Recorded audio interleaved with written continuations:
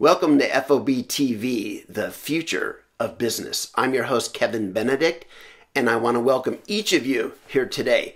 This is the third part in a series that we've done, which I'm very excited about. This series had four panelists, and these four panelists represent three different universities in the giant educational publishing company Wiley. There's Oxford University, Cornell Tech, and University of Toronto all represented. We have these experts, our panelists today, share their expertise, their insights, forecasts, and projections for how the pandemic is going to change this world. Not only the pandemic, but digital transformation in general and some of the pre-existing trends out there that were already happening within higher education. So again, welcome to this. This particular episode, we're welcoming Greg Morrisett. He's the Dean and Vice Provost at Cornell Tech. He has brilliant insights today. And if you want to watch the entire virtual event that these people participated in, the link will be at the bottom there in the, the comment section here on YouTube. But for now, thanks for joining us, and here's Greg. I want to welcome everyone to the panel discussion, our fireside chat, if you would, where we're going to talk about the University of Tomorrow and the role of technology. Greg, let's start with you. Now, we know that digital transformation, I mean, universities have been going through digital transformation for some time. They've been on that journey, but the pandemic has really changed things. How have you seen it change? And do you think the whole trajectory or time frame of digital transformation has been impacted by the pandemic? First of all, thanks so much for having me uh, on the panel. I really appreciate it. A uh, great set of questions that, as you said, the pandemic really brought this to the fore. I mean, transformation has been happening for a long time, but the pandemic really accelerated things. And part of it was faculty were just resistant to leveraging new technologies, uh, asynchronous delivery of content, and a bunch of other approaches.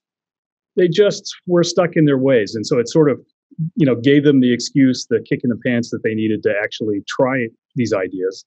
And I think we're seeing a, a, a huge explosion, a sort of a pre-Cambrian event of lots of great ideas emerging from classrooms all over the world. Um, you know, here at Cornell Tech, we had to pivot within a couple of days uh, when the pandemic hit New York City uh, to online, and we, we didn't have a lot of time to really prepare for it. But we had a tech savvy faculty, and so they didn't really have any trouble with the technology.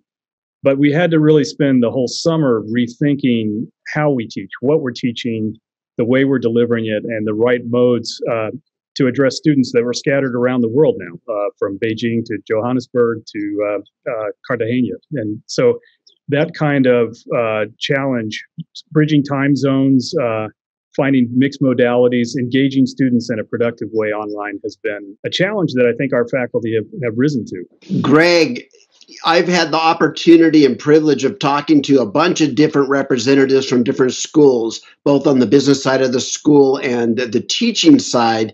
And one of I was struck by one point in particular.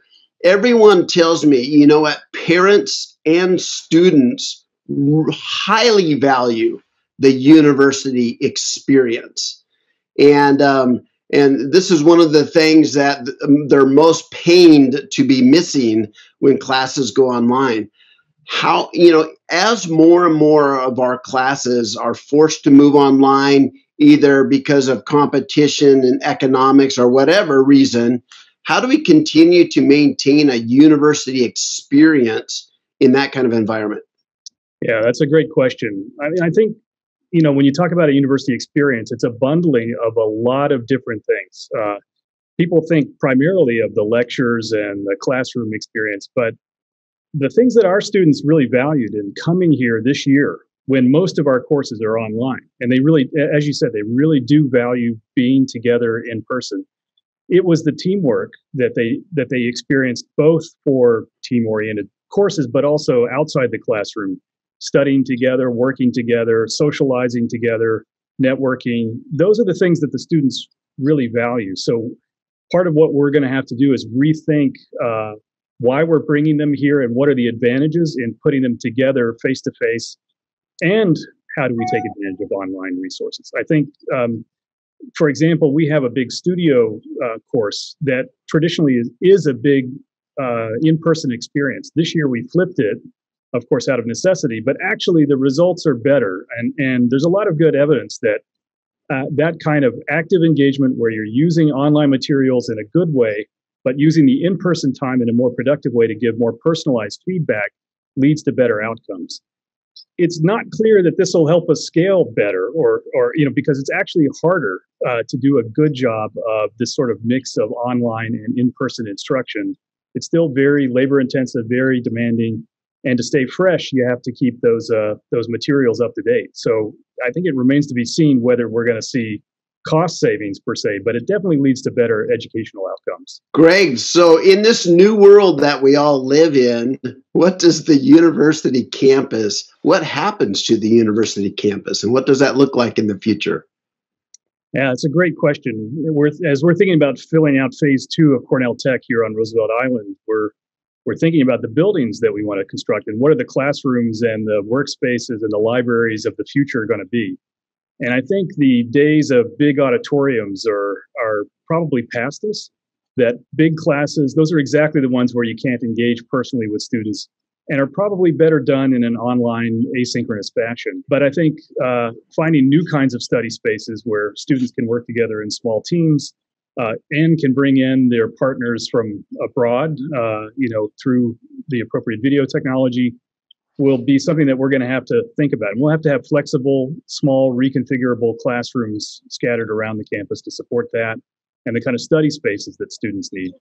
So, for those of us who have an opportunity to build new buildings, uh, I think we're going to see a lot of difference from the classic university architecture and and how we conceptualize and think about the campus. So, Greg, in this new world that we're all kind of being forced into and uh, moving through, are universities going to be forced to look at kind of different ways of operating the university, different business models? Will their purpose change? So, you know, how will all these different um, uh, outside influences impact that? Yeah, well, I think it's different for every school. I mean, especially in America, there's so many different kinds of schools from community colleges, you know, up to tier one or, or research universities. And so I think different schools at different at different parts of that ecosystem will be affected differently. I do think um, we have to rethink the business models. At the end of the day, the cost of education for uh, middle class families in the U.S. has just skyrocketed I think uh, online degrees will will start to flourish and take off, but um, that'll primarily impact things like community colleges, state colleges, where uh, people are really looking for that cost-effective savings and not necessarily the full university residential experience that we may have in the back of our minds when we're thinking about education. Um, here at Cornell Tech, we're thinking hard about how do we take ideas around technology to a much broader range of students, uh, you know, around New York. So we're partnering with K-12 as well as uh, organizations like CUNY, the, the City University of New York, and its 12 or 12 of its campuses to see um, can we build partnerships and relationships that reach a, a broader audience with the materials that we're developing here at Cornell Tech in partnership with other institutions so yes, we're going to be rethinking it, but I don't know that there's one size fits all for for all universities. I think it's going to be different for for different ones. So Greg, when we look ahead at this university of tomorrow, what are the technology gaps between where universities are today and where they're going to need to be, let's say 5 years out? Yeah, great question. I mean, uh, you know, with it's clear we got the networking down well enough to support Zoom and, and, and video conferencing, which has been a great leap forward. I mean, you know, if you just think back 10 years ago, if we'd had a pandemic, we wouldn't have been able to do exactly this kind of meeting that we're having now worldwide. But it's still so far off from that uh, really engaging experience. For example, um, you know, w- one thing that still doesn't work well is a mixed mode thing where you have some students in person and some students remote. Um, you know, you inevitably end up forgetting the remote ones, or whatever. It's just not immersive enough. They're not they're not there present uh, in the sort of virtual space that that you want. Uh, so that's one challenge. I think another one is um, we all miss the the personal interactions. You know, when you're filing into the classroom together and and you're talking, or after the class, you come up to the professor to ask them a question because you didn't understand something. And we're missing those lightweight light touch engagements. And so u- user interfaces and, and ways of rethinking a virtual classroom or conference or whatever are, are going to have to be developed, especially over the next five years, if we're going to have uh, meaningful, deep engagement around, uh, around remote telepresence in the classroom. We have some questions that have come in here. One of the questions, and Greg, let me direct this question to you, is where might competition in the future come from for universities? Is it is it different kinds of universities? Is it something different than a university? Well, I mean, I think businesses uh, do a lot of in-house training now, and so uh, there may be competition for, I think, uh, vocational skill-based kinds of training coming from businesses themselves, especially ones of size. I mean, you look at a company like Microsoft, there's all kinds of certification training and other things in that context. Um, I'm not sure that we'll see uh, competition beyond that sort of vocational skill based thing from businesses. We'll see heated competition, though, around the world for uh, uh, universities sort of being broken apart, if you will. I think I think you're going to see the rise of the rock star professor whose videos and classes and MOOCs and other things uh, really take over core courses and disciplines. Like we may see the person that teaches calculus well, uh, and that takes off. And we've already seen this with Andrew Ng, for example, at Stanford, or David Malan at Harvard. Uh, people that really are great at teaching a particular class and and they'll standardize on it. But I think it's like a book.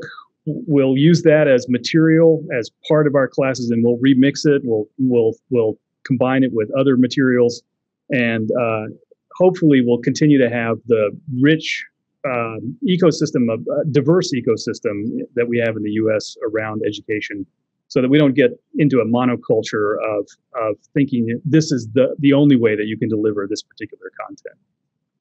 So I think that kind of uh, competition will change the way universities operate and the way they engage with their faculty and the way they think about uh, the educational materials that they're putting up online. One more question that has come in. In the retail industry, there's been a big focus over the last few years on personalizing a user experience.